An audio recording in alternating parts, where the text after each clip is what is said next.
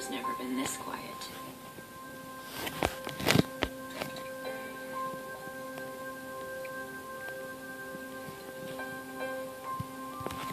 I miss Grandpa.